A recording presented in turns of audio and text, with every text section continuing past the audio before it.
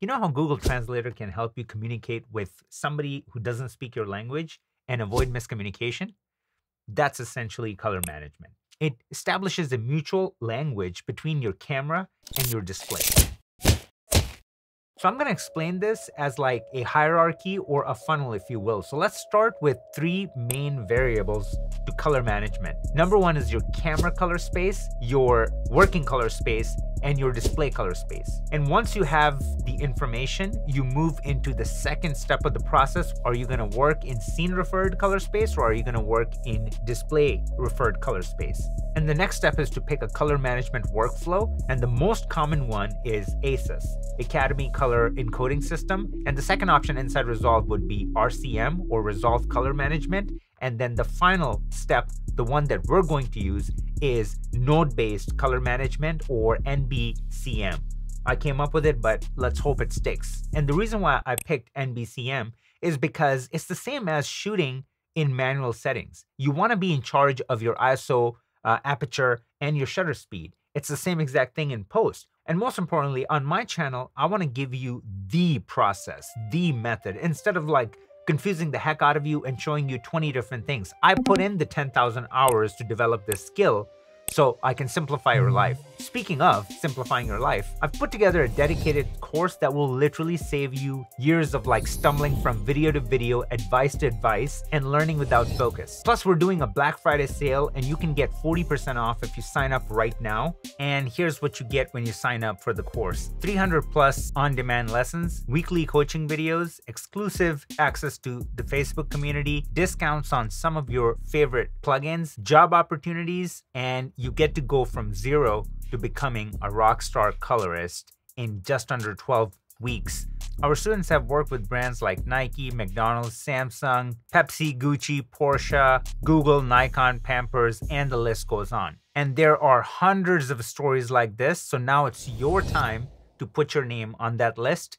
Click the link to sign up. I will see you in the masterclass.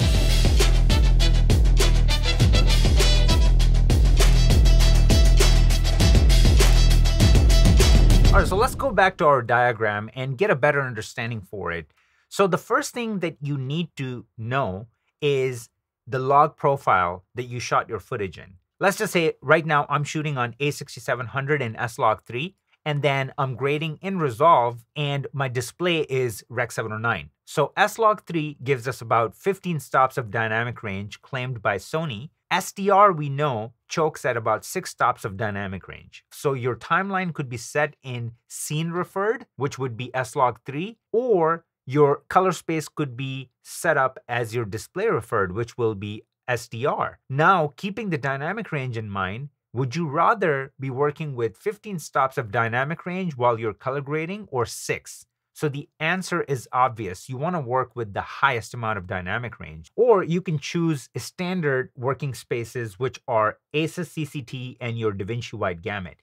Now, these give you more than 20 stops of dynamic range. So no matter which camera you throw at it, you know for a fact that you will be covered. And in this example, let's just say if we use DaVinci Wide Gamut.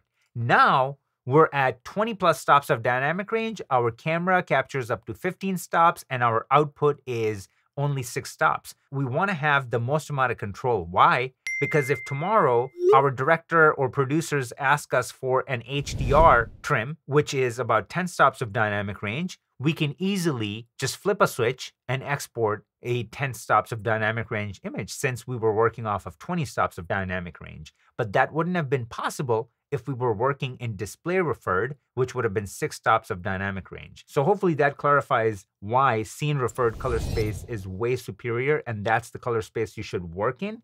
But this is where majority of the beginners make the mistake because now we're going to jump into Resolve and I can show you how most of the people will set up their color space. All right, so now we're inside Resolve and what I'm going to do is I'm going to click on my project settings and uh, under color management, what we see is our color science is set to DaVinci YRGB. That basically means that there is no color management applied. What does that mean? That means is that these settings don't mean anything. So I can just go click right here and choose anything from here. And you see the image in the back and keep your eyes on the scope as well. And I'm gonna hit save and you'll see nothing will change. You see that?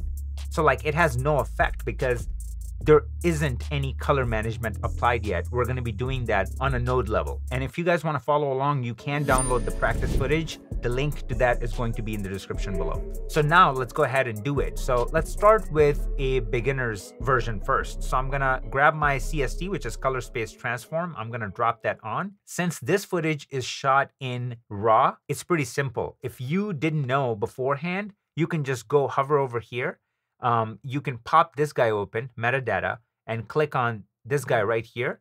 And I can go all the way down to tech details and right there. It tells me my gamma notes. It's Canon log C or log 3 and uh, cinema gamut. So it gives me all the information, which is amazing.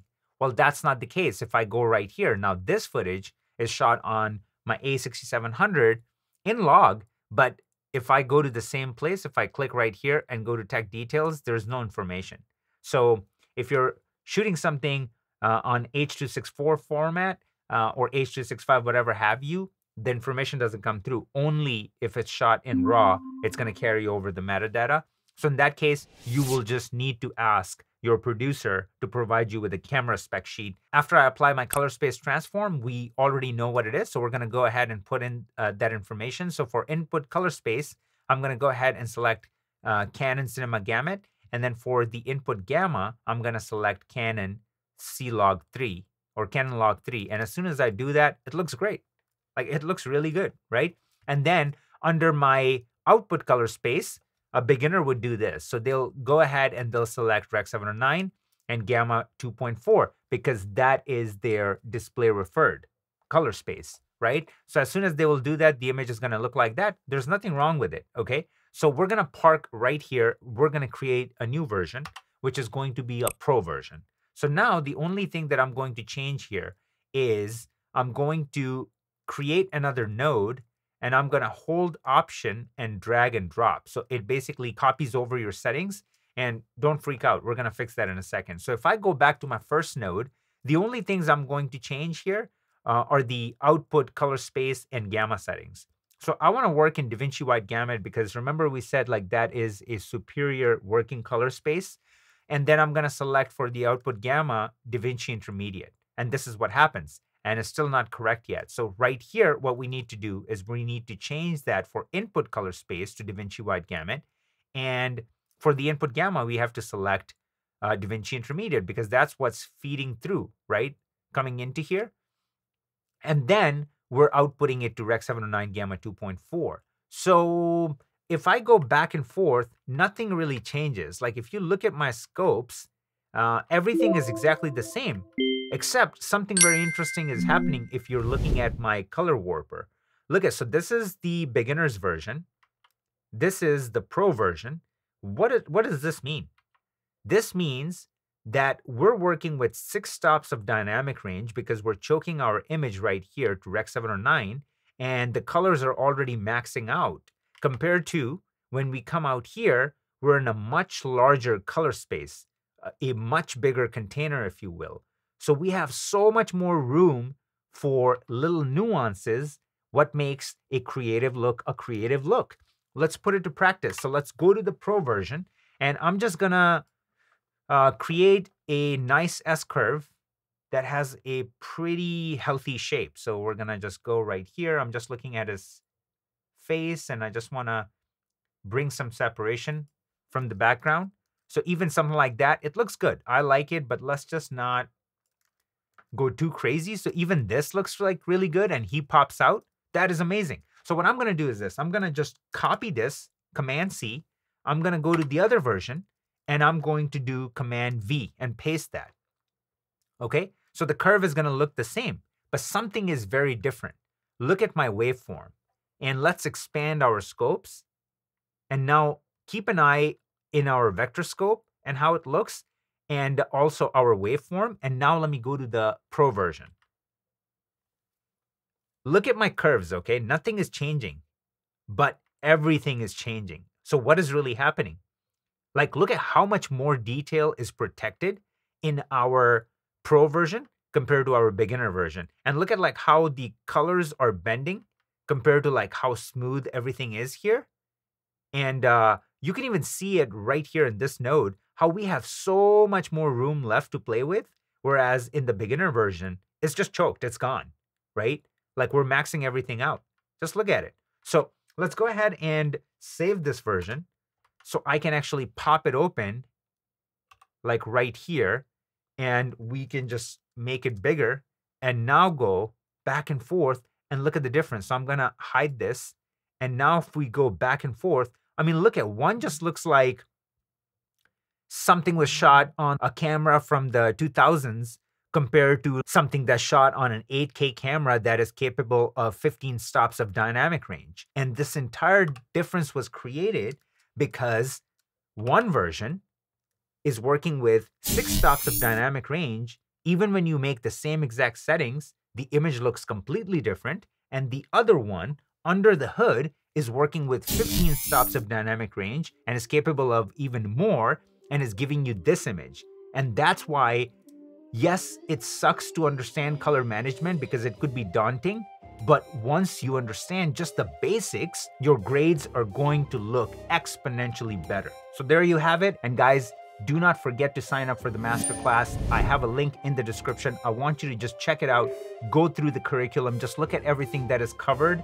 And if you enjoyed what you saw here, think of that plus 30 plus hours of content. Not to mention, we do weekly competition where you get tailor made feedback. So the value is just out of control. Take advantage of the sale. Link is in the description. I'll see you guys in the next video.